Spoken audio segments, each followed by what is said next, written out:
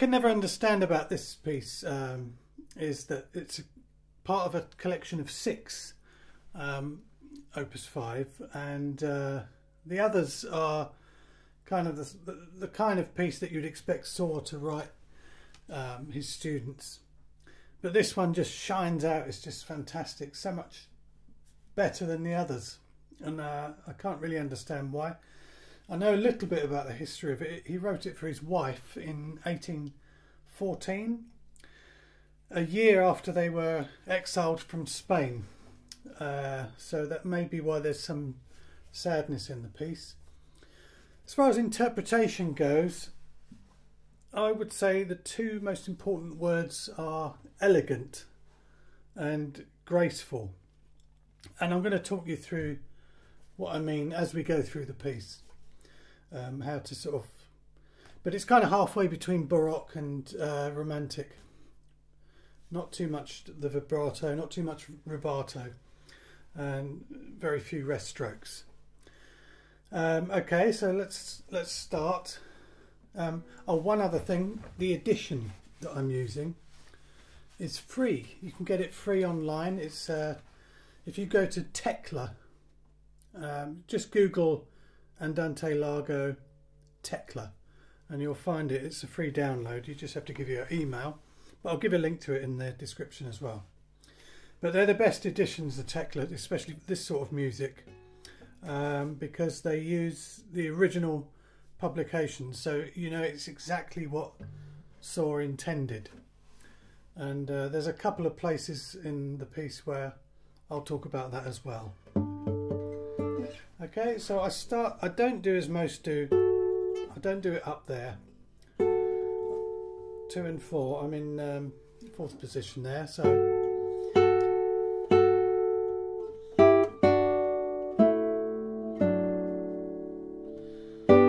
Now this first sort of important fingering, I've got, rather than the bar, I've got two on the G, one on the D, and three on the B there. And you can slide the three up to there. There's a nice change.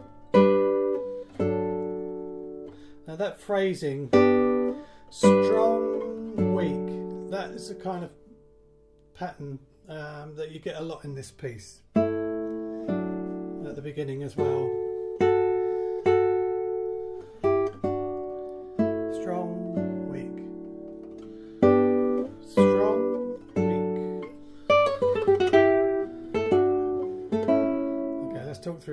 Bit there.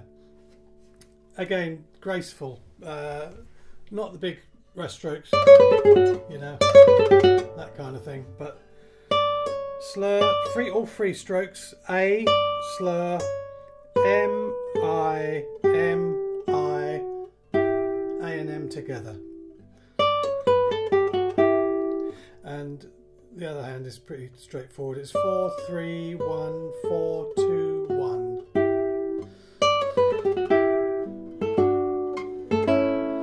this bit here, I like to cut that top A. And also the A in the accompaniment. Like that. So the way I do that is with the thumb. And lift the first finger. And then the second time second motif. Again, cut with the thumb and go from first to open so you don't have to worry about cutting. But it sounds really crisp if you do it like that. And then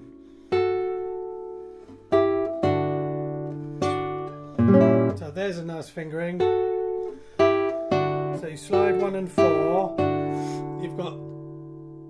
one on the F sharp, two on the D, but then I swap to three and four, and you're ready for this lovely chord there. So I'll show you that again.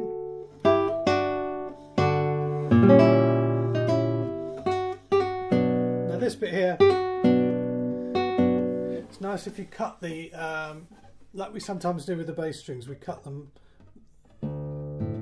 after we've played them with this one, cut the melody, the top melody, like that. So you play the F sharp, then you play the D, and you come back and cut the F sharp. But it's all done with the A finger because you're playing a chord there. Um, now, editions, we were talking about that, um, the Tecla edition. So this original, you probably know this bit now as like that. But the original, and I like to try and be as true as possible to the original, was just this. Which sounds a bit odd if you're used to the old way. I suspect that was Segovia doing that, unless somebody knows different. If you do, leave leave a note in the comments. But so now a slide four down to there, that's all. Uh, I I am slur. Okay. Now the second time it happens, you go into the second time ending. Now the last one of those, I'll move up into fifth position. Okay.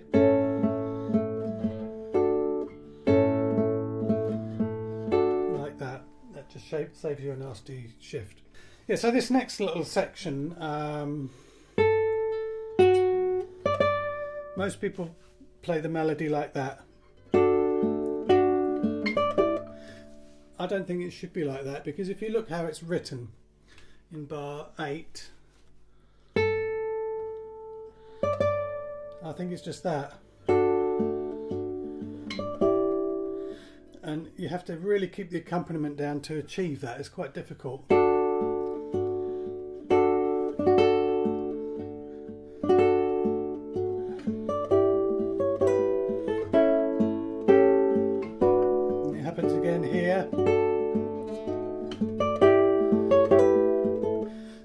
That's something to try and aim for. Um, the fingering for that, I come up to seventh position with one, and it can all ring on underneath the A. So I play. So I play that A there with a fourth, but then I move down into fifth position.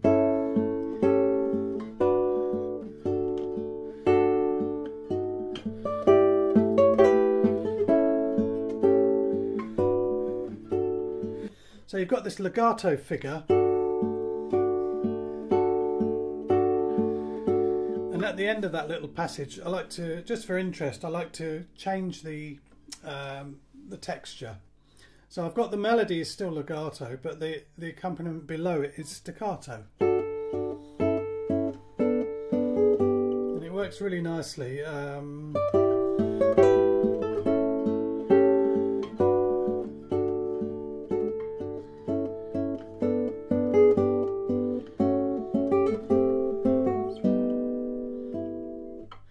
if you look throughout this piece there, rest, that's in bar 14. You get these rests written out.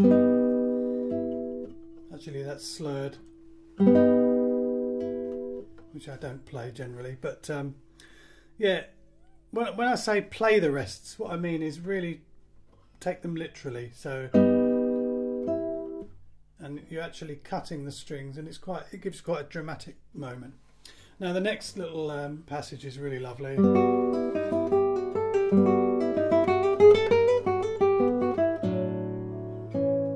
So what I'm doing there is I'm using quite a lot of rubato.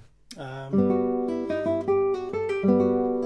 so I'm I'm pausing a little bit, so enjoying that clash.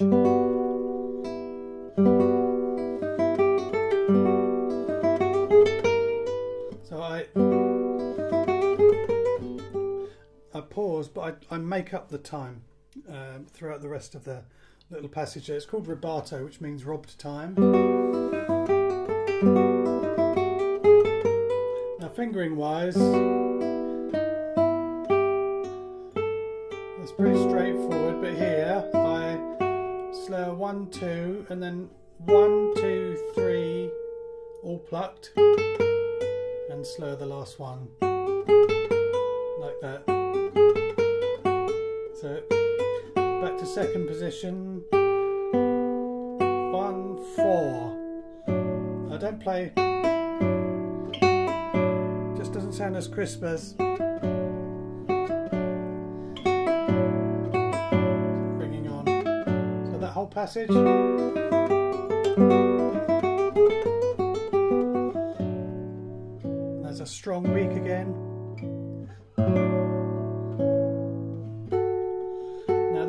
Staccato. That's a really lovely bit. Now how do I get those staccatos? I'm just playing and bringing the flesh of the thumb back onto the string. Like that. Apart from the very last one, uh, and the fingering here is I've got two and four, one on the bass note, and I've got one and four. Now this A here, I stop that with the I finger, like that. For the whole of that passage.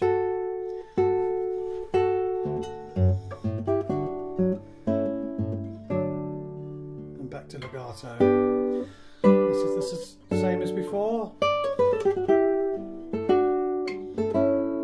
You keep three down, and you've got two, four, and three to keep one free. For the bass note here, and that's hard. I'm playing that by sliding the two from the E to the D.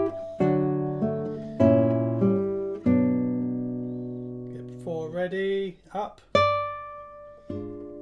Play the accompaniment there's quite enough so that the D ring's on above it. And I play this for one and then I slide one. I just find that easier than 4 4 there. Okay, so that whole passage. Notice the basses aren't staccato that time.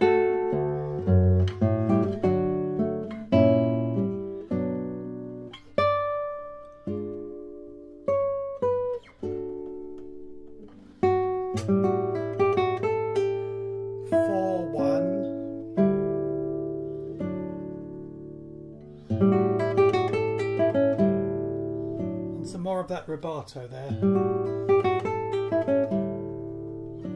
Not too much vibrato. Anyway, we're going to the minor section now. Remember to keep the accompaniment down there. Now that fingering's nice. Open four, then up to second position, one on the C sharp, slide one, slide it back down again, then squeeze in four. Okay, so the whole of that. So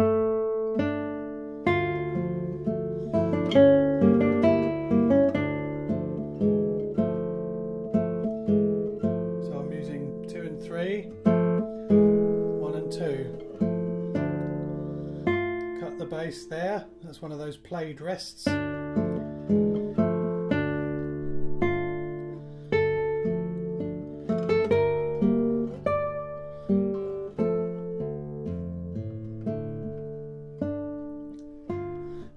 Bit's uh, quite a stretch. I'm going to talk about the um, why you get some of these stretches in Sor's music in a second, but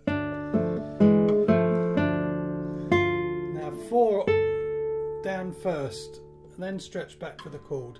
If you've got a stretch, it's always good to put the little finger down first, and then go back with the others.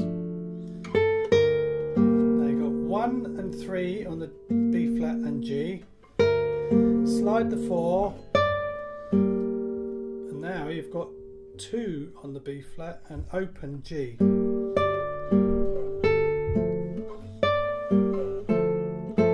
So if you do that quietly enough, the listener won't know that you're playing it on different strings. Um, so that sounds like this. Um,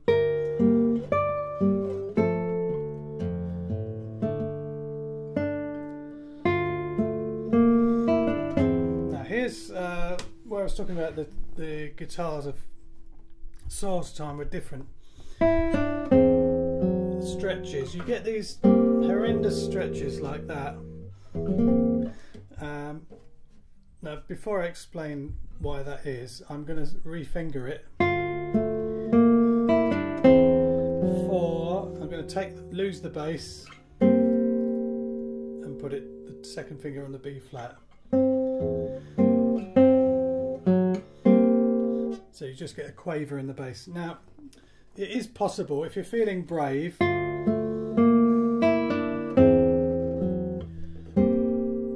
you are, I played it just about. It's very uncomfortable, but. Uh, now, the reason that is so difficult, our guitars are bigger than Sor's guitars. That stretch would have probably looked a bit like that because the string length was so much shorter. That's why a lot of these Sor's studies, you've got these horrendous stretches. They weren't that bad in his day, but um, yeah, I would just lose that um, E in the bass. Um, so I'll just play that bit once again if I can find it. Sorry.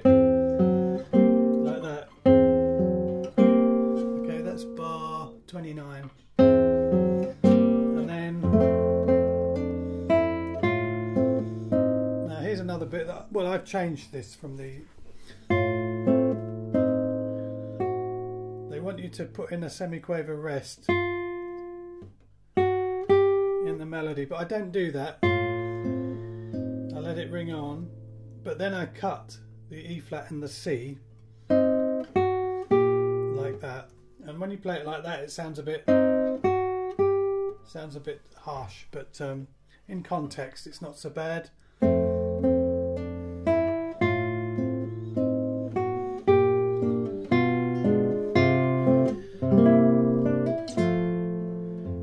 A slur on that, and I slide the third back slide it back, and then I squeeze in the fourth, like that.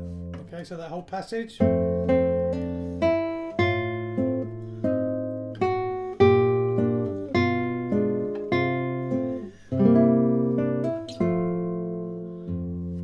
So the next bit you could play up in fifth position, but I'm not going to do that. I'm going to play it down here. Open stretch there and then and then this lovely chord there's another sore stretch there it wouldn't have been so bad on his guitar but just about playable on our guitars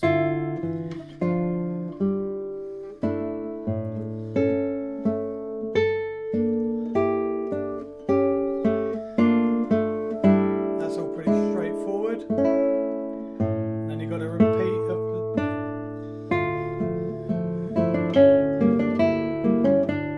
Now, this bit's tricky because we've got this.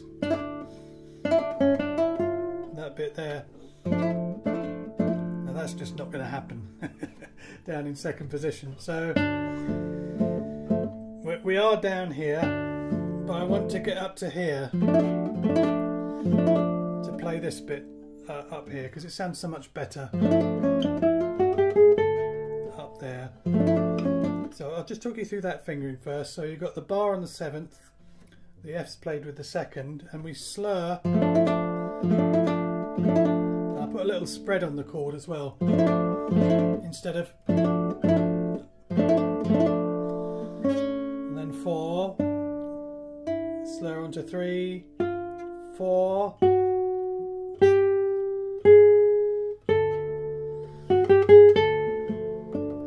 Okay, but getting up there is the problem. So we're down here with the fourth on the D. That's not very nice. Okay, so what I do is I play a long note, then a short, like it's intentional, cheating a little bit. So, and while I've shortened that, it gives me time to get up into seventh position. And you have to be careful again not to let the listener know that you're playing it on different strings. So try and make those sound the same. One thing that might help you is I've got A there just sitting on the string. So when you do this you're not gonna you're not gonna hit that string by mistake. I'm just resting the A there. So that whole pad is a bit complicated but it's worth it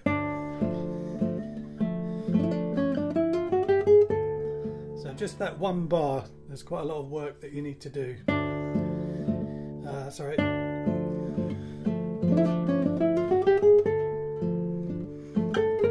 And again, don't um, try and keep the tone quality here elegant, not kind of. Uh, we don't want none of that going on. Not like in the Tárrega where it's lovely. In this, it's, it's not so suitable.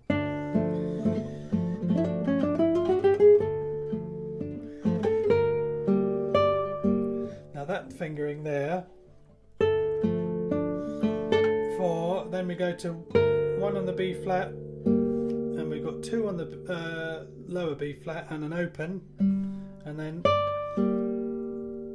go to the four. Okay.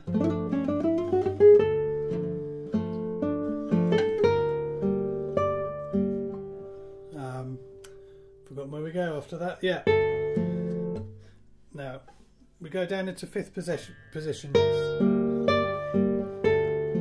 Like that, and play the A on the third, on with the third finger on the fourth string, and the fourth finger on the fifth string to, for the F. Then notice one of those rests. That's quite dramatic.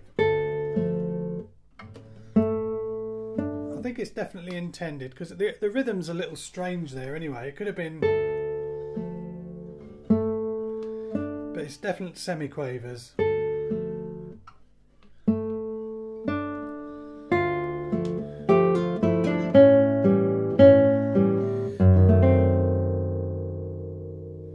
I wouldn't put too much of a pause on there, but a nice spread might be good.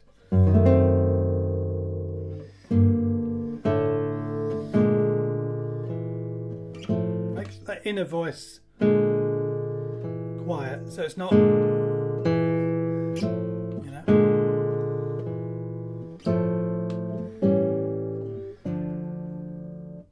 And another one of those played rests. And after that, really, you're um, I don't really do a lot differently with with the second half. So, yeah, that's it. If you've enjoyed this, subscribe, hit the uh, bell notification, and you won't miss any more of these. And any ideas for the next one, drop me a line. Thanks for watching.